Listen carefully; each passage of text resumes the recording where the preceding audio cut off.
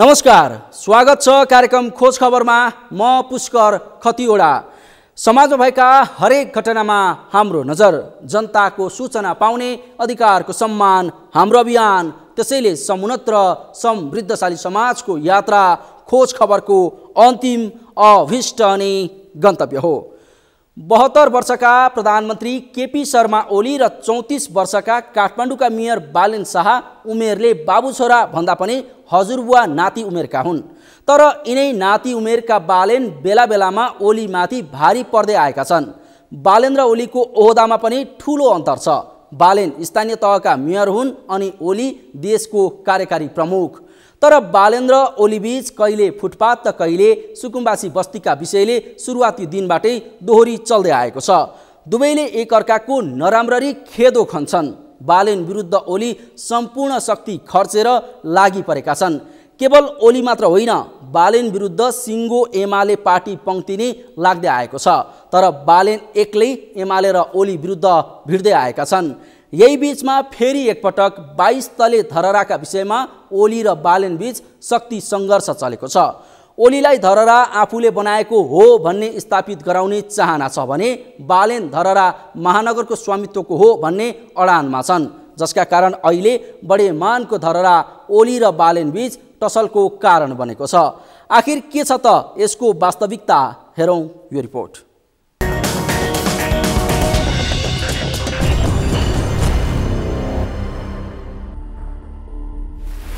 ओली र बालेनबीच टसलको कारण बन्दै बाइस तले धररा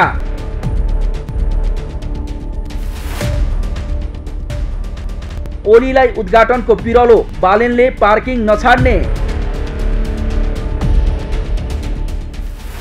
बालेन सकाउने रणनीतिमा ओली बालेन एकाएक मौन।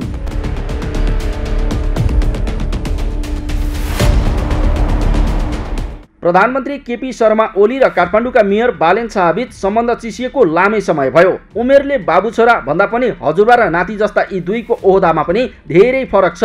बालेन स्थानीय तहका प्रमुख हुन् भने ओली देशकै कार्यकारी प्रमुख हुन्। तर ओली र बालेन बीच सुरुका दिनबाटै दोहोरी चल्दै आएको छ। दुवैले एक अर्काको नराम्रै खेदो खन्छन्। बालेन विरुद्ध त ओली सम्पूर्ण शक्ति खर्चेर उनलाई निचा देखाउन खोजिरहेका छन्। केवल ओली मात्र होइन बालेन विरुद्ध सिङ्गो एमाले पार्टी नै लाग्ने गरेको छ। गिरिबन्धु टी स्टेट उपत्यका नदी किनारका सुकुम्बासी बस्ती उठाउने न्यु रोड क्षेत्रमा फुटपाथ बढाउने जस्ता विषयमा ओली र बालेन आम्ने सामने हुँदै आएका थिए। तर अहिले चाहिँ यी दुवै निर्माण नै अपुरो रहेको धरहराको पार्किङ प्रकरणमा शक्ति सङ्घर्षमा छन्। निर्माण नथाल्दै विवादमा परेको धरहरा अहिले ओली र बालेनलाई भिड्ने विषय बनेको छ। ओलीले अघिल्लो पटक प्रधानमन्त्री भएको बेला निर्माण सम्पन्न नै नभई धरहराको उद्घाटन गरेका थिए। पहिलो पटक प्रधानमन्त्री बनेका बेला मेरो धरहरा मै बनाउँछु भन्दै अभियान सुरु गरेका ओलीले अहिलेको कार्यकालको सय दिनको उपलब्धिमा यसलाई समेट्न भन्दै धरहरा सञ्चालनमा ल्याउन निर्देशन नै दिएका छन्। बनेको छ मान्छे चढ्न चाहन्छन् चढ्न पाएको त्यहाँ पार्किङ बनेको छ पार्किङ तयार भइसकेका छैन। निशुल्क पार्किङ भनेर ल्याएर पार्किङ भरेर नि शुल्क पार्किङ। सरकारले त्यत्रो पैसा खर्च गरेको सबै ठाउँमा पार्किङ गर्दाखेरि आफ्नो आँगनमा बाहेक पार्किङमा त तिर्नै पर्छ त। अलिकति लगायो भनेदेखि त त्यहाँको निर्माणको चाहिँ पैसा हुन्छ नि त। त्यो पैसा सर्वसाधारणको पैसा जोडेर अझ त्यसमा छत्तिस करोड त मै बनाउँछु मेरो धरारा भनेको हरेकको ओनरसिप होस्। भनेर छत्तिस करोड त त्यो क्याम्पेन अन्तर्गत उठेको छ। सडकमा हिँड्ने मान्छेको त्यति बेलै एक हजार रुपियाँ दिएर एकजना मान्छेले त्यस फन्डको सुरुवात गरे हो त्यति बेलै त्यो मै बनाउँछु मेरो धरारा भन्ने क्याम्पेन सुरु गरेर नेपाली जनताले सरकारी खर्च होइन गैर सरकारी खर्चमा बनाऊ भन्दाखेरि उनीहरूले सुरु गरेका थियो। मै बनाउँछु मेरो धरहराको क्याम्पेन गर्दाखेरि बनाउन सकिन्छ धरहराको टुप्पोबाट हेरेको काठमाडौँ भनेको साँच्चै मनमोहक देखिन्छ। अनि किन सञ्चालन नगर्ने? त्यसकारण कुन मन्त्रालयले कहाँबाट सञ्चालन गर्ने हो? त्यसलाई एउटा छुट्टै कार्यविधि बनाएर छुट्टै यस्ता कुराहरूलाई सञ्चालन गर्ने। र त्यो पार्किङ पनि त्यो पार्किङ चाहिँ कुनै पालिका विशेषको होइन। पालिका विशेषको होइन। अनि तयारी हुन नपाउँदैखेरि त्यो पार्किङ त्यहाँ पार्किङ अन्डरग्राउन्ड पार्किङको परिकल्पना पनि मैले गरेँ हौ। ओली र बालेन बीच बिग्रिएको सम्बन्ध डढेलो जसरी बढिरहेको छ। तर यो आगो निभाउनुभन्दा बालेन र ओली दुवैले पालै पालो घिउ थप्ने काम गरिरहेका छन्। मेयरमा निर्वाचित हुनु अघि नै बालेन ओलीका आलोचक थिए। त्यो बेला बालेनले धरहरालाई सेतो टावर भन्थे। त्यसै त मेयरमा निर्वाचित भएपछि पनि ओली र बालेन बीचको भनाभन चलिरहेको छ। सुकुम्बासी बस्ती न्यु रोडको सडक र अन्य प्रकरणमा ओली र बालेन एक अर्का विरुद्ध खनिँदै आएका छन्। गिरिबन्धु जग्गा प्रकरणमा त बालेनले ओलीलाई मुटुमा चोट पुग्ने गरी आरोप लगाएका थिए तर ओली प्रधानमन्त्री बनेपछि भने बालेनले उनी लक्षित प्रहार कम गरेका छन्। नेपालमा पानी जहाज र रेल सञ्चालन गर्ने ओलीको पुरानै चाहना हो। दुई हजार चौहत्तर सालको आम निर्वाचन अघि चुनावी तयारी गरिरहँदा पनि ओलीले जनतामाझ रेलको सपना बाँडेका थिए। तर ओलीले पानी जहाज र रेलको सपना बाँडेको सात वर्ष नागिसक्दा पनि यो कामले सार्थकता पाएको छैन। ओली दुई हजार चौहत्तरको आम निर्वाचनपछि पनि तिन वर्ष बढी प्रधानमन्त्री बने। तर रेल र पानी जहाज सञ्चालनको कार्यले सार्थकता प्राप्त गर्न सकेको छैन। यस्तोमा ओलीले विकासका नाममा पानी जहाजदेखि रेलसम्म बाँडेको सपनालाई लक्षित गर्दै बालेनले बोल्नुभन्दा काम गर्नुपर्ने टिप्पणी गरेर फेरि ओलीलाई चिडिआएका छन्। धेरै बोल्न चाहन्न म अब निस्किन पनि लागेको भएर छोटो उहाँहरूले बोलिदिनु भनेर खासै बोल्ने भन्दा पनि कामै गर्नुपर्छ भन्ने हो। तर उहाँहरूलाई गाह्रो छ उहाँहरूलाई त एउटा लामो लिस्ट पनि बोल्नु पर्दो रहेछ। ओलीले धरहराको प्रसङ्ग निकाल्नु अनि पानी जहाज र रेल सञ्चालनलाई प्राथमिकता दिनु भन्दै सचिवहरूलाई दिएको निर्देशन लगत्तै बालेनले यस्तो टिप्पणी गर्नु सरकारप्रतिको व्यङ्ग्य भनेर बुझ्न कठिन छैन। हुन त मेयरमा निर्वाचित भए यता बालेन र ओलीबीच भनाभन नभएको होइन। बेला बखत स्थानीय तहको अधिकारको हनन गरिएको भन्दै बालेन केन्द्र सरकार विरुद्ध असन्तुष्टि पोख्दै आएका छन्। यस अलावा पछिल्ला केही राजनीतिक विषयमा पनि बालेनले ओली विरुद्ध गम्भीर आरोप लगाउँदै आएका छन्। ओली र बालेन बीच धेरै विषयमा विवाद पर्छ। त्यसैले होला जात्रामा आम्ने सामने भेट हुँदा पनि ओली र बालेन बीच बोलचाल भएन। बालेनले सामाजिक सञ्जाल मार्फत ओलीलाई पालै पालो प्रहार गर्दै आएको रिसले पनि हुनुपर्छ ओलीले बालेनसँग बोल्न चाहेनन् न त बालेनले नै ओलीलाई महत्व दिए। हुन त सिङ्गो एमाले सङ्गठन नै बालेन विरुद्ध लाग्दै आएको छ। बालेन अराजकतातर्फ उन्मुख भएको आरोप एमाले नेताहरूले लगाउने गरेका छन्। राजनीतिमा लागेर बालेन बिग्रिएको एमालेको ठहर छ।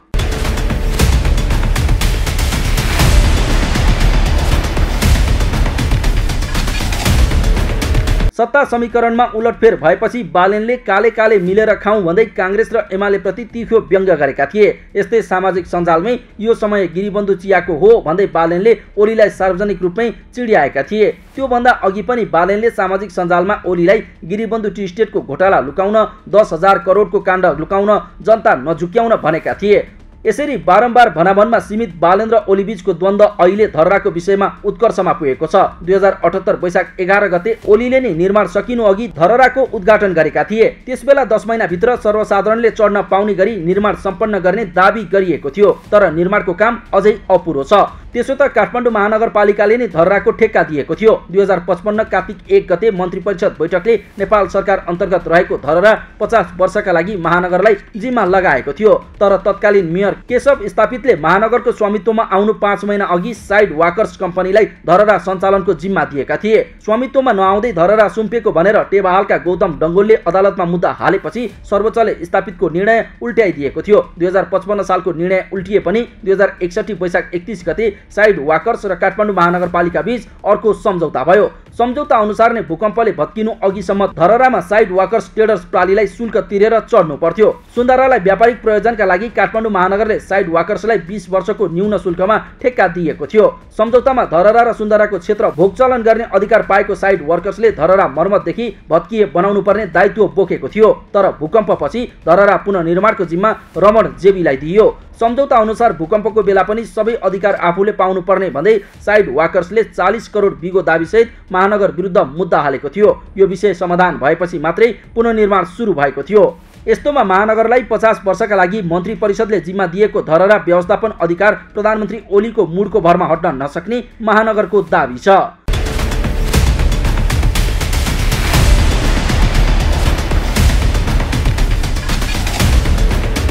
प्रधानमन्त्री ओलीले धरहरा सञ्चालन गर्ने भनेर भनिरहँदा धरहराको बेसमेन्ट पार्किङ भने महानगरले व्यवस्थापन गरिरहेको छ।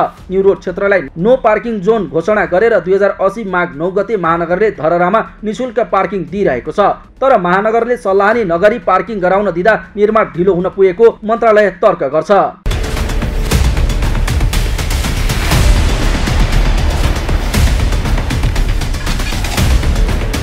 धरहरा पुनर्निर्माणको जिम्मा लिएर ठेक्का दिएको सहरी विकास मन्त्रालयले नयाँ सरकार गठन भएको सय दिनभित्र सञ्चालनको लक्ष्य लिएको छ।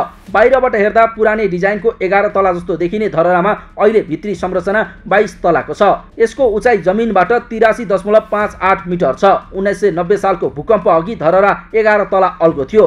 त्यसबेला दुई तला भत्किएर नौ तलामा सीमित बनेको थियो। यसरी धरहराको विषयले फेरि एकपटक आम्ने सामने भएका ओली र बालेन एकअर्का लक्षित तिखो व्यङ्ग्य गर्दै आएका छन्। बालेन ओलीलाई जसरी भए पनि जनताका सामु नङ्ग्याउन चाहन्छन् भने ओली पनि बालेन तह लगाउने सोचमा छन्। बालेनले गिरीबन्धुबारे छानबिन हुनुपर्ने भनेपछि चित्त दुखाएका ओलीले बालेनलाई सकाउने रणनीति बनाएका छन्। यो बीचमा मन्त्री र सचिवसँग ब्रिफिङ लिने क्रममा ओलीले धरहरामा भइरहेको पार्किङ हटाउन निर्देशन दिनु पनि यसैको उपज थियो। ओलीले धरहराको पार्किङ कुनै पालिका विशेषको हुन नसक्ने भन्दै बालेनप्रति सिधा निशाना साधेका छन्। तर बालेन अहिले मौन छन्। न त उनका सामाजिक सञ्जालमा नै ओली लक्षित कुनै प्रहार देखिन्छ। तर यसको मतलब बालेन चुप रहिरहन्छन् भन्ने पनि हुँदैन। उनी फेरि कुन बेला प्रधानमन्त्री विरुद्धका स्ट्याटस लेखेर उनलाई चिड्याउँछन् त्यसको टुङ्गो छैन। न त ओलीले नै बालेन तह लगाउने सुर छाड्ने कुनै सङ्केत छ। तर देशका कार्यकारी प्रमुख र एक स्थानीय तहका प्रमुख बीचको यो टसल धेरैलाई रमाइलो लागेको भए पनि यो देशका लागि हितकर छैन। तर यसलाई नबुझेर हो वा बुझेर पनि बुझ पचाएका बालेन्द्र ओलीले यो बुझ्न चाहिँ जरुरी छ। खोज खबरका लागि पुष्कर खतिवडा काठमाडौँ।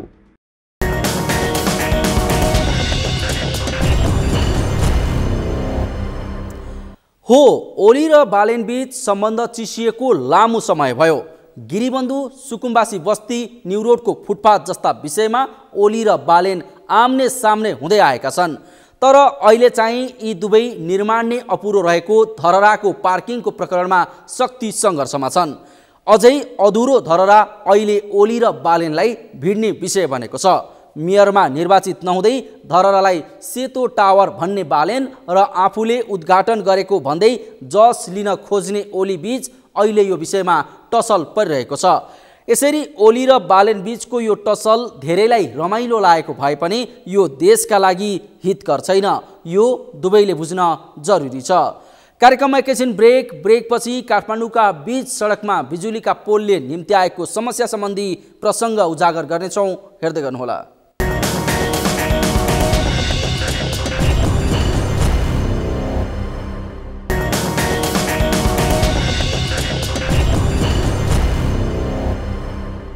ब्रेकपछि स्वागत छ कार्यक्रम हो खोज खबर। नेपालका कतिपय भूभागमा गतिलो सडक छैन। अझ कतिपय स्थानमा त सडक नै छैन। नयाँ सडक बनाउने सडक कालोपत्रे गर्ने भन्ने कुरा त केवल चुनाव ताका नेताको भाषणमा मात्रै हुन्छ। कति ठाउँमा सडक त छ कालोपत्रे पनि भएको छ तर मर्मत समार अभावमा यस्ता सडक पनि दुरावस्थामा पुगेका छन्। यति मात्र होइन देशको राजधानी काठमाडौँमा त कालोपत्रे सडकको बिचमै बिजुलीको खम्बा समेत देखिन पाइन्छ जसले स्थानीय र यात्रुमा दुर्घटनाको जोखिम बढाएको छ। आखिर कुन सडक हो त्यस्तो जहाँ बिच सडकमा बिजुलीको पोल छ? अनि किन यो लापरवाही भयो त?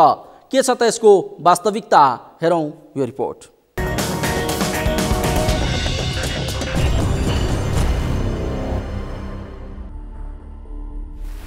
काठमाडौँका बीच सडकमा बिजुलीका पोलको धराप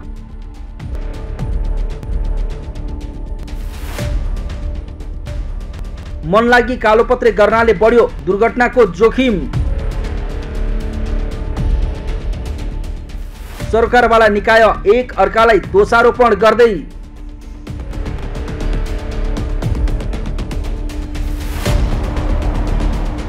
एक पटक यो दृश्य हेर्नुहोस्।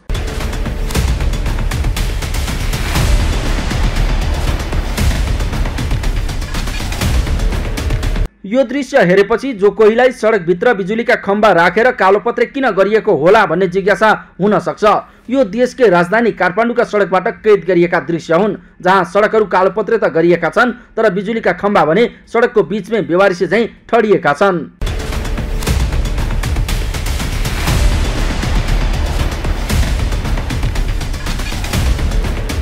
यसरी लापरवाहीका साथ सडकभित्र बिजुलीका पोल राखेर कालोपत्रे गरिएको काठमाडौँको सडकमा गङ्गबु चोकदेखि गल्पोपाखासम्मको सडक सामाकुसी खोला छेउको रानीबारी मार्ग लगायत दर्जनौँ सडक छन् जहाँ अवस्थित बिजुलीका खम्बाहरू नसारी कालोपत्रे गरिएको छ जसका कारण यसरी बीचमा ठडिएका पोलका कारण सवारी दुर्घटनाको ग्राफ बढाएको छ भने दुर्घटनामा परि ज्यान जाने जोखिम पनि बढेको छ। बिचमा पोल हुनाले कस्तो भने अब यहाँबाट सिधा जानलाई पनि हेर्नु- हेर्नुहोस् न हजुर अब यहाँबाट जाँदाखेरि अलिकति बिचमा ग्याप भएको भएर पुरा त्यो बिचको चाहिँ नि यो उसले गर्दाखेरि अलिकति एक्सिडेन्ट धेरै केसहरू पर्ने भएर असु असुरक्षित छ कि यो बाटो चाहिँ? यहाँ छ धेरै एक्सिडेन्ट भइरहेको हुन्छ यसमा होइन? हामीले हटाउनु भनेर अब त्यो टेलिफोनमा जाँदाखेरि पनि उसले उ गरेर कि अलिकति मतलब गरेन। त्यही भएको भएर अब यो चाहिँ धेरै यो ठाउँमा त्यहाँदेखि त्यहाँसम्म चाहिँ धेरै एक्सिडेन्ट भइरहेको हुन्छ। अब हामी डर लाग्छ अब तपाईँको बाटो काट्नलाई। त्यस्तो गाह्रो हुन्छ क्या तीन वर्षदेखि रानीबारीको यो सडकभित्र भएका बिजुलीका खम्बाहरू हटाइएका छैनन् जसका कारण यहाँका बासिन्दाले विभिन्न समस्याहरू झेल्नु परेको छ। सडकका बिचमा भएका बिजुलीका खम्बाका कारण उनीहरूलाई बाटो काट्न समस्या भइरहेको छ भने यो स्थानमा फुटपाथको समस्या भएका कारण पनि बाटोबाटै हिँड्नुपर्ने बाध्यता छ। यति मात्र होइन कति बेला कस्तो दुर्घटना घट्छ भन्ने त्रासले स्थानीय र यात्रुहरू ढुक्काका साथ यात्रा गर्न पाउँदैनन्। तर पटक पटक सरकारवाला निकायलाई तागेदा गर्दा पनि ती निकायले यस्ता जोखिमप्रति चासो नदेखाएको उनीहरूको गुनासो छ। यहाँ त बेसरी बिच बिच सुरक्षित छ नि। बाटो काट्न गाह्रो छ बिहान बेलुका हिँड्दा गाह्रो छ बच्चाहरू नि कसरी बाटो काट्ने भन्ने छ? अब हामीलाई नि यो पोल छ कसरी बाटो काट्ने भन्ने? यहाँ त धेरै गाडीहरू ढलिरहन्छ नि तर यो यो राम्रो गर्न चाहिँ पर्ने हो कि? गर्नुहुन्न। मुखाले मात्रै भन्ने केही छैन। सरकारले नि हेर्न पर्ने हो खास गरी भन्ने। बाटै काट्न गाह्रो छ कति गाह्रो छ बाटो काट्न?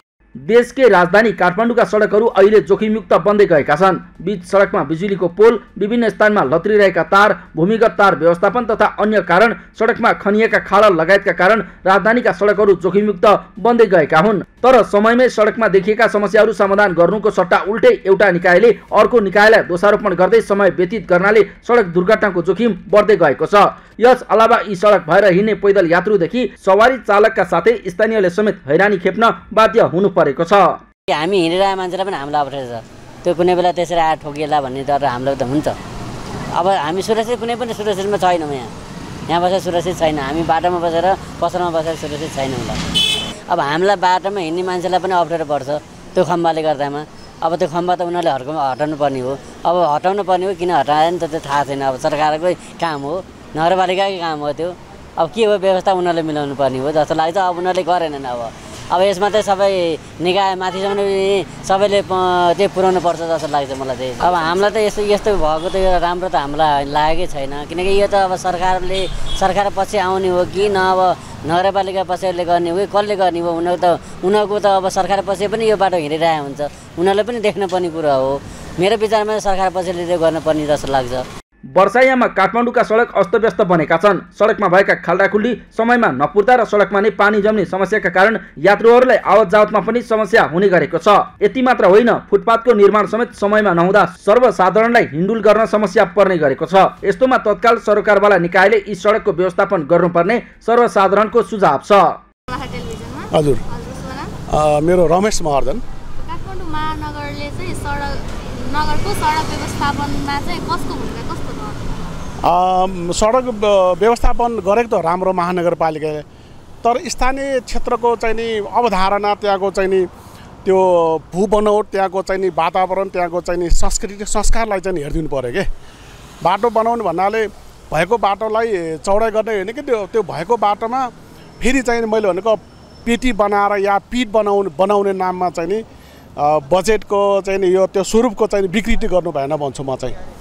बनाउनु पर्छ त्यसमा विरोध होइन तर त्यो ठाउँको चाहिँ नि रहन सहन त्यो ठाउँको हावापानी वातावरण त्यसको चाहिँ नि भौतिक संरचना अवस्था सामाजिक परिवेश सबैलाई ध्यान दिनुपर्ने हुन्छ क्या स्थानीय सरकारमा अधिकार छ भनेमा त्यसको दुरुपयोग गर्नु भएन होइन? अधिकारलाई चाहिँ नि बुझेर सदुपयोग गर्नु पऱ्यो त्यसको त्यसको चाहिँ नि सही चाहिँ नि सदुपयोग गर्दाखेरि सबैलाई भलाइ नै हुन्छ। स्थानीय जनताले पनि उसको त्यहाँको आवश्यकता के चाहिरहेको छ त? महानगरपालिकाको अधिकार छ भनेमा अधिकारको दुरुपयोग गर्नु भएन क्या स्थानीय जनताले पनि त्यसलाई चाहिँ नि के भन्दाखेरि यो ठाउँमा यस्तो आवश्यकता छ भने महानगरपालिका त उसको चाहिँ सरकार चलाउनु त के समयको लागि आउँछ? तर त्यो ठाउँको जनता त युगौँ युगदेखि बसिरहेछ नि त। त्यो ठाउँको आवश्यकता अवस्था र त्यो ठाउँको जनताले बुझ्यो त्यो मागलाई बुझिदिनु पऱ्यो काठमाडौँ भनेको सम्पदाको सहर हो। एउटा भनौँ न परापूर्व कालदेखि चलेको सम्पदा हो काठमाडौँ। काठमाडौँलाई चाहिँ भनौँ एउटा मन्दिरै मन्दिरको सहर सम्पदा बोकेको सहर भन्छ। तर स गर्नुपर्छ सडक विस्तार गर्नुपर्छ। तर विस्तार गर्दाखेरि भने जुन स्थानीयको भावना छ स्थानीयको एउटा जात्रा परम्परा छ आफ्नो रीतिरिवाज छ त्यो रीतिरिवाजलाई समेत समेटेर र सडकलाई समेत असर नपर्ने गरी र त्यहाँका स्थानीयलाई असर नपर्ने गरी चाहिँ बाटो विस्तार गर्दा ठिक होला। अहिले काठमाडौँमा मेलम्ची खानेपानीको पाइप विस्तार गर्ने तथा बेला बेलामा मेलम्ची खानेपानीको पाइपमा समस्या देखिने भएकाले सडक भत्काएर मर्मत कार्य पनि भइरहेको छ। तर मेलम्ची खानेपानी पाइप विस्तारका लागि खनिएका खाडल पनि व्यवस्थित हुन नसक्दा राजधानीका अधिकांश सडकहरू खाल्डामय छन्। यता मर्मतका लागि सडकमा खाल्डो बनाउने तर पुनः नटाल्दा सवारी दुर्घटना बढेको छ। गत असार उन्नाइस गते मेलम्चीको खानेपानीको पाइप फुटेर मर्मत गरिएको सोह्र खुट्टे नयाँ बजार सडक भाँसिएका कारण मोटरसाइकल नै खाडलमा परेको थियो। जुन प्रतिनिधि घटना मात्र हो। बर्खाको समयमा यस्ता घटनाहरू दोहोरिने गरेका छन्। सन् दुई हजार एक्काइससम्ममा नेपाल विद्युत प्राधिकरणले तार भूमिगत गर्ने भन्दै भारतीय निर्माण कम्पनीलाई ठेक्का दिएको थियो। तर सन् दुई हजार चौबिससम्म पनि तार भूमिगत हुन नसक्दा काठमाडौँका सडकहरू अस्तव्यस्त बनेका छन्। तार भूमिगत गर्नका लागि खनिएका खाडलहरू कतिपय स्थानमा पुरिएका छैनन्। यस्तै व्यवस्थित हुन नसकेर बिजुलीका खम्बामा लत्रिरहेका तारहरूले समेत काठमाडौँको सडकको यात्रालाई थप जोखिमयुक्त बनाइरहेको छ भने फुटपाथमा हिँड्न समेत सकस हुने गरेको सर्वसाधारणको गुनासो छ। जुन स्थानीय सरकारले महानगरपालिकाले सडक विस्तार गर्ने क्रममा जुन यहाँ विवादहरू भइराखेको छ सबभन्दा पहिला त महानगरपालिकाले स्थानीयसित छलफल गर्नु पर्यो। उहाँको जनप्रतिनिधि जस्तै वार्ड अध्यक्ष होला उहाँहरूसित छलफल नगरिकन स्थानीयसित छलफल नगरिकन आफ्नो मनामर्जीले महानगरपालिकाले जुन सडक विस्तार गर्न खोजिराख्नु भएछ त्यो पटक्कै राम्रो होइन। किन किनभने यो सडक विस्तार गर्नु राम्रो हो तर स्थानीयको यो सु सल्लाह सुझाव विदाउट स्थानीयको सल्लाह सुझाव बिना यो पटक्कै राम्रो होइन। अब यहाँ त सबभन्दा पहिला प्रमुख गुरु योजना बनाउने त यो स्थानीय तह हो। अब स्थानीय तहले गुरु योजनाको हिसाबमा प्रदेश र केन्द्र अनि सडक डिभिजन यो सबै यो जनता जुन उपभोक्ता समिति जुन जुन टोल छिमेको छन् जागरुक जनता त्यसको पनि हात हुनुपर्छ। मलाई लाग्छ त्यो सबै सबै आफ्नो ठाउँमा सम्बन्धित सबै सरोकारवालाले यदि आफ्नो आफ्नो ठाउँमा इमान्दार भइदियो भने यो राम्रो हुन्छ महानगरपालिका। अथोरिटी स्वीकृति दिनु पऱ्यो स्वीकृति दिइसकेपछि यहाँसम्म यतिसम्म चाहिँ अब सडक विभागले पहिलेदेखि काम गरेको सडकहरूलाई चाहिँ उनीहरूले बिगार्न दिँदैन। त्यही कारणले पनि होला। तर अब सडक विभागले पनि अब स्वीकृति उनीहरूसँग राय लिएर चाहिँ गर्नुपर्ने हो वास्तव भन्ने हो भने स्थानीय निकायले पनि होइन। अब यो दुईजनाको चाहिँ नि अब दुईवटापट्टिको अब स्थानीय सरकार र अब के अरे गभर्मेन्टको चाहिँ नि अब चाहिँ नि पोलिसी अनुसार चाहिँ अब उनीहरूले चाहिँ नियमन गरेर बनाउनु पर्ने हो।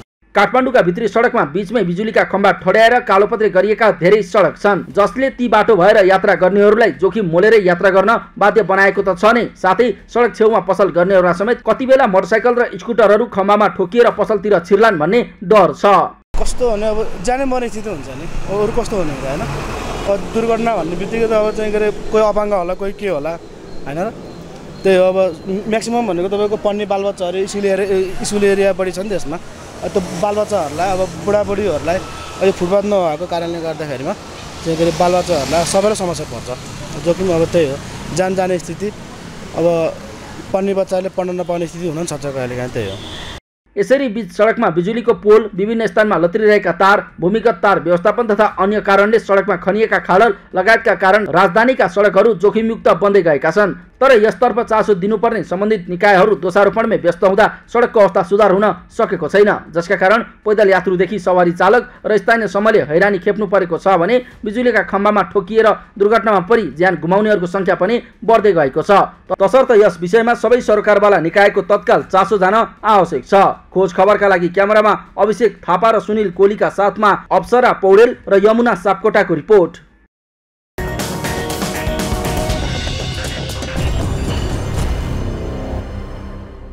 हो देशको राजधानी काठमाडौँकै सडकका बिचमा बिजुलीको पोल छ जो मान्छे मार्ने पासो सरह बनेर बिच सडकमा उभिरहेको छ।